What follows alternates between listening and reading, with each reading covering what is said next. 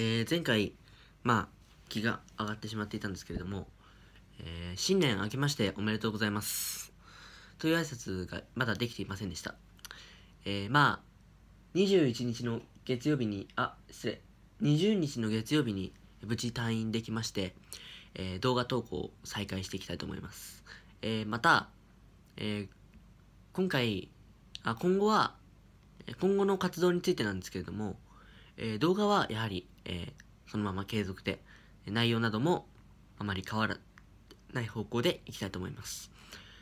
えー、そして、何よりも、えー、私が今年に入って一番嬉しかったことは、まあ合格発表もそうなんですけれども、えー、キリン TV100 人を超えました。はい。100人達成しました。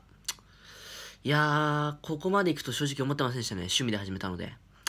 で、100人いったので、何かやりたいと思います。その企画は今考えているのでお待ちください。まあ、今のところプレゼント企画になる予定です。では、よろしくお願いします。